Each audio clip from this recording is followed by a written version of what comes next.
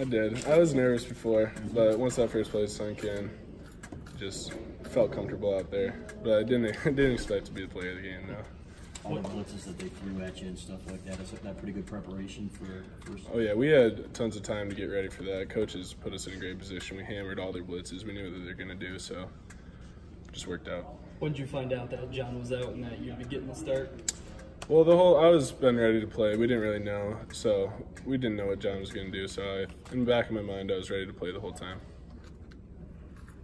So did you not find out until you got on the field for warm-ups or before? that? No, I knew before it was it was a good chance I was playing, but so I I was preparing. I was going to play for the last couple weeks. Harbaugh said you might be in the mix now with the right side. Are you still taking reps on both sides?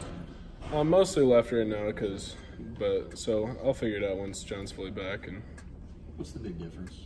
Left or between right? left. I mean, it's because I played right last year, Mm-hmm. so it's it's not a huge difference. You just got to get about a couple days of reps at either side, and you feel comfortable again. Do you have a preference between the two? Not really, just wherever they put me, I'm fine with.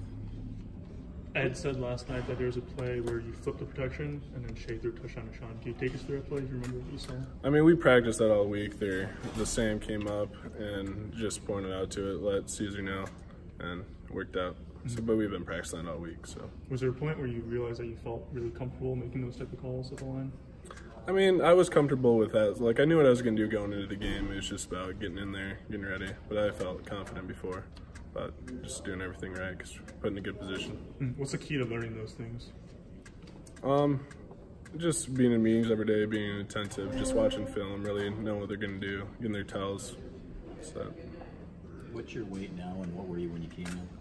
When I came in, I was about what was that like 245, 250. Getting, I'm pretty close to 300 now. I'm about 295. What's your ultimate goal? Have they told you what they want you to be? I mean, they haven't really told me anything specific, but I'd like to play around 310, 315. What's that process like, adding that much weight that quickly?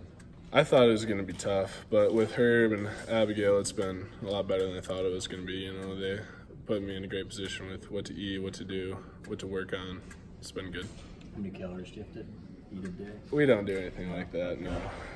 So yeah, On one who called you the skinniest lineman. Um, which is true. how do you how do you feel like you did just physically the strength of the game going against a you know an actual opponent? Yeah, I was I was pretty nervous before because I didn't know what it was gonna be like. But once I get in there, I felt fine. I didn't feel weak. Just felt good.